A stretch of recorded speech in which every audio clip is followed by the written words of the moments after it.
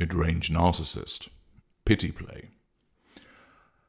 I'm going to provide you with an example of a pity play issued by a mid range narcissist, and I will then provide you with the analysis of the constituent parts of the overarching pity play so you understand the relevant aspects of the narcissistic dynamic and the narcissistic indicators. Any mid range narcissist will utilize this pity play, but typically it would be used by middle mid range type A or middle mid range type B. Middle mid range type A are uh, either anodyne, very vanilla narcissists, middle of the road, or false angels, overwhelming angels, falling over themselves to be helpful. Middle mid range type B are crybabies. They think the universe has cursed them and the world is against them.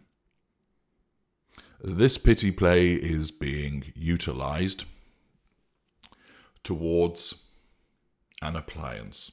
It could be said to the intimate partner primary source, possibly intimate partner secondary source, and even in some instances to a non intimate secondary source probably between family members, either parent to child or adult child, narcissist towards victim parent. Most typically, you would hear it in an intimate setting. I'll provide you with the pity play and then the analysis thereafter. I don't know what you want. Heaven knows I have tried. Every day I have spent my time in pursuit of your happiness. It was easy at first, because you seemed so happy. I don't think I had seen anybody who acted in such a carefree manner. Nothing seemed to bother you, hold you back, or distract you. You moved with such intent, acted with defined purpose, and I must confess I found that attractive. The singularity of your aim was evident to even the most casual of observers. You shrugged off mishaps, shirked disaster, and dodged catastrophe as if you had once pledged that you would never countenance anything that could hinder or hold you back. It is admirable and impressive. With that ability to glide effortlessly through life, you always seemed happy, or at least that is what I thought. You made me happy too. Goodness knows you did. You did it better than anybody else, and with such conviction. I can place my hand on my heart and confirm that I have never experienced anybody like you. Your capacity for love exceeded anything I had witnessed before. Everything else paled next to you and your blazing golden sunshine. You chased away the gloom, you lit up the darkest of days, and you always did with such confidence and fortitude. It was easy to love you. You made it easy. Who wouldn't love a God who had deigned to walk on the earth in such a manner?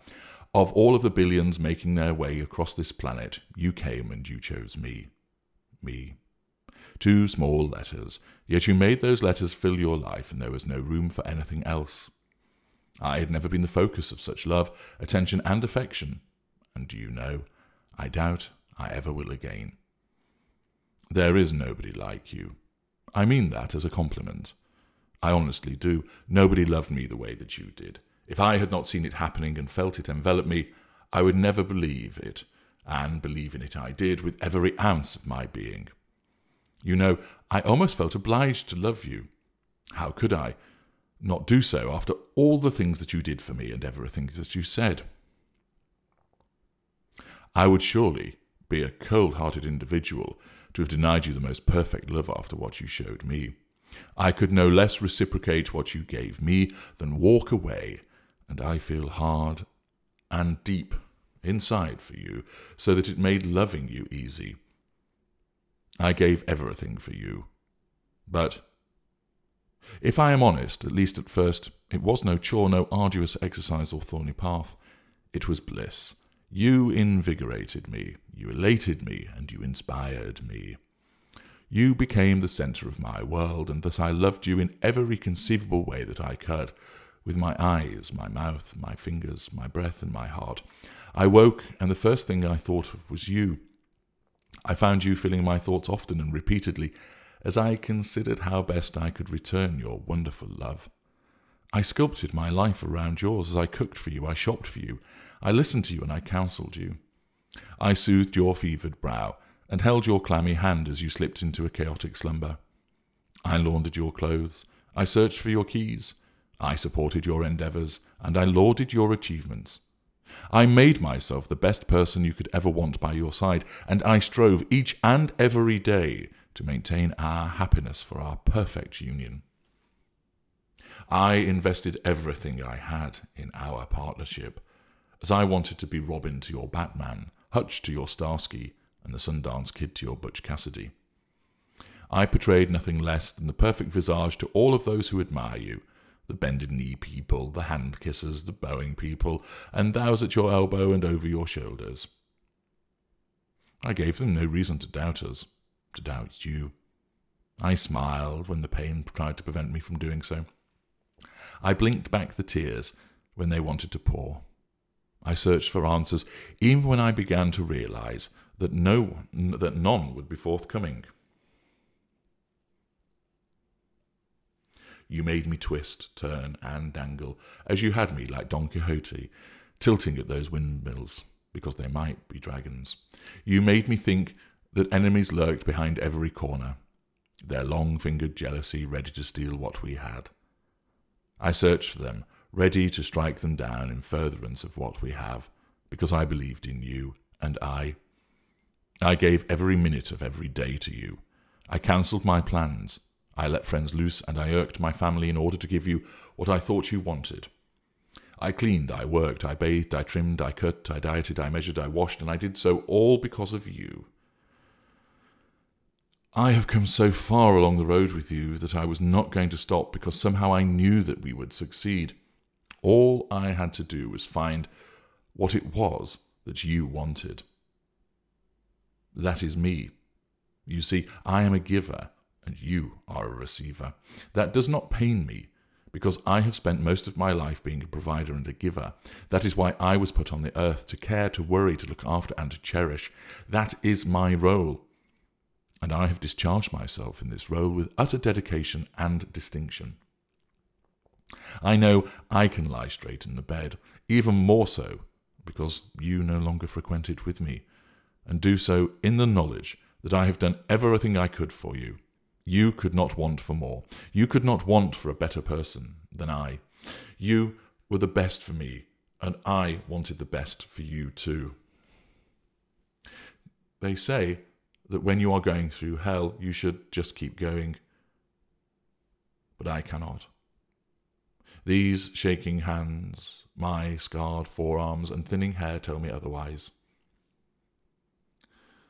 The incessant dull ache in my brow, the stoop that I have acquired, and the ever present sense of dread threaten to consign me to oblivion. I thought that if I knew what you wanted, if I worked and I tried, I could ascertain what it was that you wanted, and then I could give it to you, and we would be one again. We would be us. We would be happy. I don't know what you want, but I cannot give it any more. And there is the pity play now, the analysis. I don't know what you want, heaven knows I have tried. Grandiosity, martyrdom, Every day I have spent my time in the pursuit of your happiness.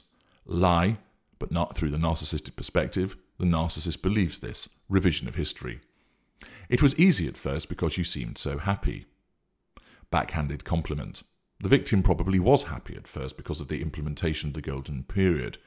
But note the use of seemed to suggest that somehow that the victim was behaving in a fake manner. Projection. I don't think I had seen anybody who had acted in such a carefree manner. Idealization. Nothing seemed to bother you, hold you back, or distract you. Flattery. You moved with such intent, acted with defined purpose, and I must confess I found that attractive. Flattery. The singularity of your aim was evident to even the most casual of observers. Flattery. You shrugged off mishaps, shirked disaster, and dodged catastrophe as if you had once pledged that you would never countenance anything that could hinder or hold you back. Flattery. It is admirable and impressive. Flattery.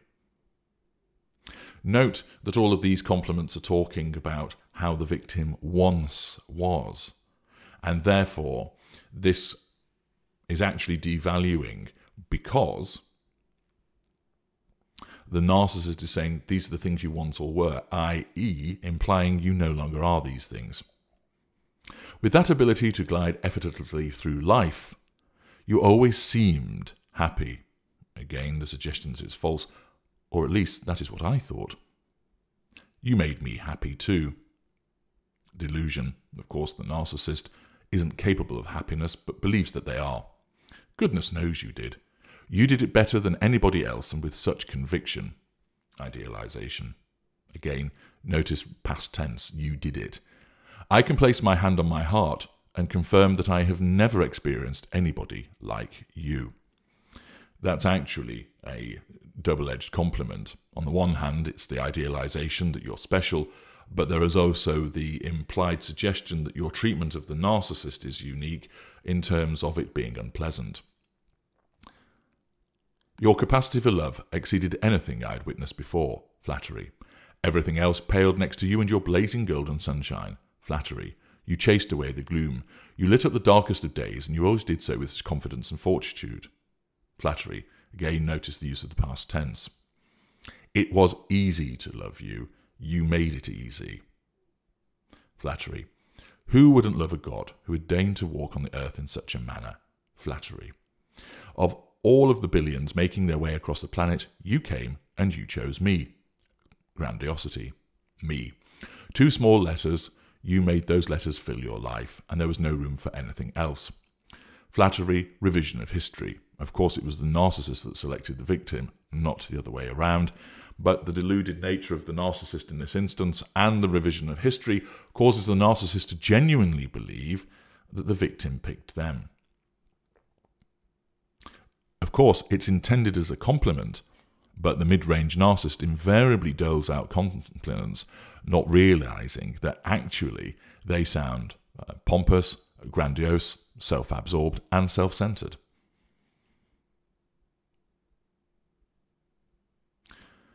I had never been the focus of such love, attention, and affection. Lie. And do you know, I doubt I ever will again. Pity play. There is nobody like you. I meant that as a compliment. I mean that as a compliment. I honestly do. Nobody loved me the way that you did. Backhanded compliment, reference to past tense. I had never been the focus of such love, attention, and affection. If I had not seen it happening and felt it envelop me, I would never have believed it, and believe in it I did, with every ounce of my being. Grandiosity. You know, I almost felt obliged to love you insult. How could I not, after all the things you did for me and everything that you said? I would surely be a cold hearted individual to have denied you the most perfect love after what you showed me. I could no less reciprocate what you gave me than walk away, and I fell hard and deep for you, so that it made loving you easy. Grandiosity. Infatuation exhibits the narcissist's belief that they were in love with the victim. I gave everything for you, grandiosity, but if I am honest, at least at first, it was no chore, no arduous exercise or thorny path. Backhanded compliment, because the suggestion is that it has become a chore, has become an arduous exercise, and the narcissist now walks a thorny path. It was bliss. You invigorated me, you elated me, and you inspired me. Grandiosity, flattery. You became the centre of my world, infatuation, and thus I loved you in every conceivable way that I could. Backhanded compliment. With my eyes, my mouth, my fingers, my breath, and my heart. Also represents the way that the narcissist subsumes the individual, the total consumption of the victim to make them an extension of the narcissist. I woke, and the first thing I thought of was you, revision of history. I found you filling my thoughts often and repeatedly as I considered how best I could return your wonderful love. Possibly the revision of history, or it may well have been that the narcissist did behave in such a way. I sculpted my life around yours. Actually, it was the other way around. I searched for your keys, I supported your endeavours, and I lauded your achievements. It's quite possible, given that this is a mid range narcissist, that those things were done. And either, if they were not, this is the delusion of the narcissist through the revision of history, or there's exaggeration, that the narcissist did some of these things, but not to the extent that they believe that they did. I soothed your fevered brow and held your clammy hand as you slipped into a chaotic slumber. Melodrama. I laundered your clothes, I searched for your keys, I supported your endeavours, and I lauded your achievements. I made myself the best person you could ever want by your side, and I strove each and every day to maintain our happiness for our perfect union. Grandiosity and martyrdom. I invested, I invested everything, martyrdom, I had in our partnership as I wanted to be Robin to your Batman, Hutch to your Starsky, and the Sundance Kid to your Butch Cassidy. Magical thinking. I portrayed nothing less than the perfect visage, visage to all of those who admire you. Grandi- grandiosity, facade management, the bended knee people, the hand kissers, the bowing people, and those at your elbow and over your shoulders. Contempt. I gave them no reason to doubt us, to doubt you. Lack of accountability, blame shifting. I smiled when the pain tried to prevent me from doing so, martyrdom. I blinked back the tears when they wanted to pour, pity. I searched for answers, even when I began to realize that none would be forthcoming. Pity play. You made me twist, turn, and dangle as you had me like Don Quixote, tilting at those windmills because they might be dragons. Blame shifting. Insult. You made me think that enemies lurked around behind every corner. Paranoia, blame shifting. Their long fingered jealousy ready to steal what we had. I searched for them, ready to strike them down in furtherance of what we have, grandiosity, because I believed in you and I.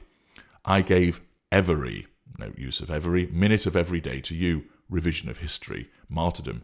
I cancelled my plans, I let friends loose, and irked my family in order to give you what I thought you wanted most likely revision of history. I cleaned, I worked, I bathed, I trimmed, I cut, I dieted, I measured, I washed, and I did so all because of you. Possibly revision of history, and most likely exaggeration. I had come so far along the road with you that I was not going to stop because somehow I knew that we would succeed. All I had to do was find what it was that you wanted. That is me, you see. I'm a giver and you a receiver. Blame shifting, also the perception in the mind of the narcissist that they are the good person, that they are, in fact, the empath. That does not pain me because I have spent most of my life being a provider, martyrdom, and a giver, martyrdom. That is why I was put on the earth, grandiosity, to care, to worry, to look after, and to cherish. That is my role, and I have discharged myself in this role with utter dedication and distinction, grandiosity. I know I can lie straight in the bed, implying that the victim can't and that they're a bad person. Even more so because you no longer frequent it with me, blame shifting, and do so in the knowledge that I have done everything that I could for you, blame shifting, martyrdom. You could not want for more. You could not want for a better person than I. You were the best for me, and I wanted to be the best for you too, grandiosity. They say that when you are going through hell, you should keep on going, but I cannot. Pity play. These shaking hands, my scarred forearms, and thinning hair tell me otherwise. Pity play. The incessant dull ache in my brow, the stoop that I have acquired in the ever present sense of dread, threaten to consign me to oblivion. Melodrama. I thought that if I knew what you wanted, if I worked and tried, I could ascertain that it was that I could ascertain what it was that you wanted, and then I could give it to you, and we would be one again. Grandiosity, martyrdom, we would be us. We would be happy. I don't know what you want, but I cannot give it any more. This narcissist is indulging in a huge pity play, actually, a sympathy symphony, which is a collection of various narcissistic indicators as I have described.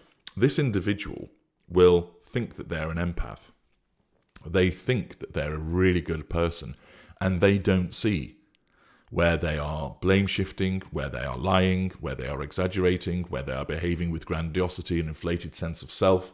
They are completely blinded to it.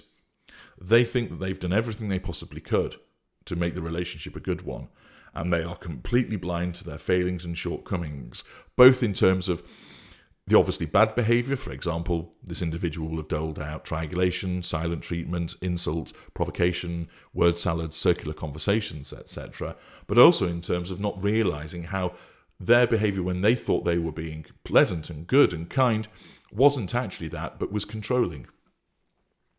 This is a very clear example of a mid range narcissist that believes that they are a good person and categorizes very closely with the behavior of a middle middle range type A. But you would see this amongst other types of mid ranger as well, perhaps with some slight adjustments. Recognize that this is what is occurring. Also, understand this. How is it that the narcissist is able to say all of this to such a degree and with such conviction? Well, they are blinded to who they are. That's the way that the narcissism works. They are unaware.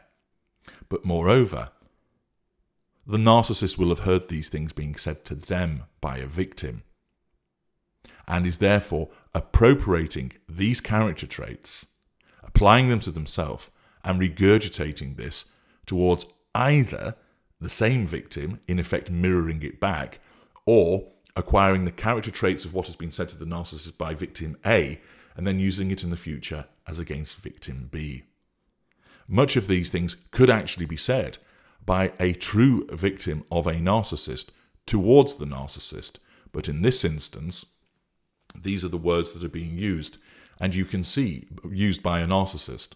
And therefore, it's very important to understand that with many behaviors that are engaged in, some can be quite similar. They can be performed by the victim and the narcissist. And what you have to do is establish what is that person by looking at a range of behavior over a period of time. And then you interpret their behaviors through the prism of what they are. So if it's been determined that they're a narcissist, you can then look at everything that's being said here and interpret it, and I have done so for you, to demonstrate all of the indicators, etc. But also these words, not all of them, but some of them could be said by a victim. A lot of the grandiose stuff would be missing. But talking about having uh, loved this person and things that have been done for them, etc., will have been said most likely by a victim to the narcissist who has appropriated them for their own use. So, this is a very useful example of devaluing behavior, which is an elongated pity play with lots of narcissistic indicators and dynamics within it, and also demonstrates character trait acquisition and the projection that the narcissist engages in. I'm H.G. Tudor. Thank you for listening.